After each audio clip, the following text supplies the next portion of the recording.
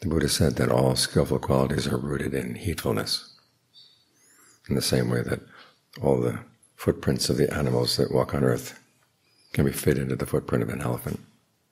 Heedfulness covers everything. His last instructions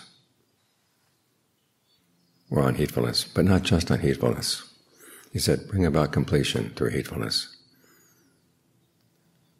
And the rules of Pali syntax are different from those in English. His actual last word was bring about completion. What did he mean? We could become complete in your virtue, complete in your views. Those are things you really need to depend on. Being complete in your virtue means that you hold to the precepts. You make your precepts pleasing to the noble ones, conducive to concentration.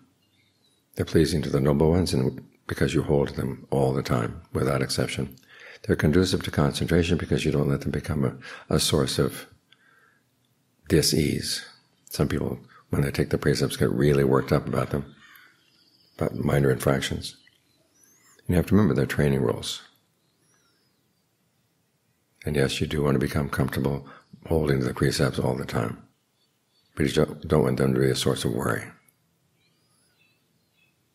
So remember, you're here to train, to get better and better and better at the precepts.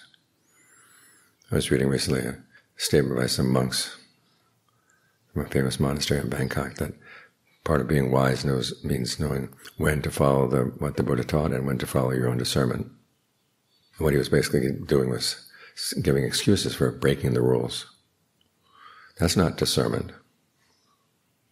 Maybe clever, but it's not discerning. When you're really discerning, you know how to hold to the precepts even when it's difficult.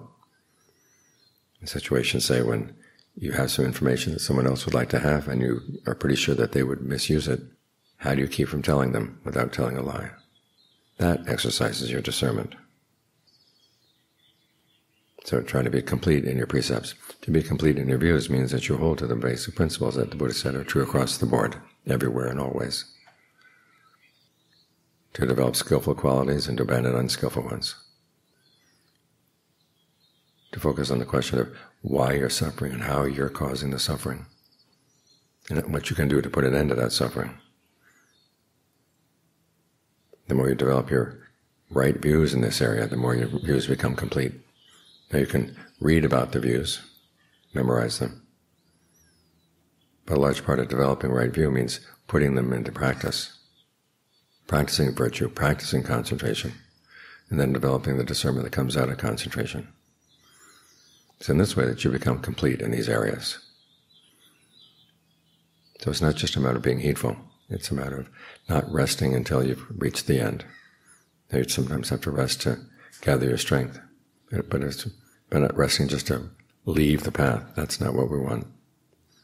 You rest so that you can stay on the path. Then you pick yourself up and you keep on going.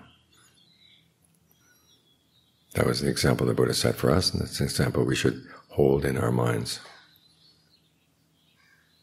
He did what he could to help us to show the way. Now it's up to us to follow the way and to use our discernment in following it, so we can come become complete. can become complete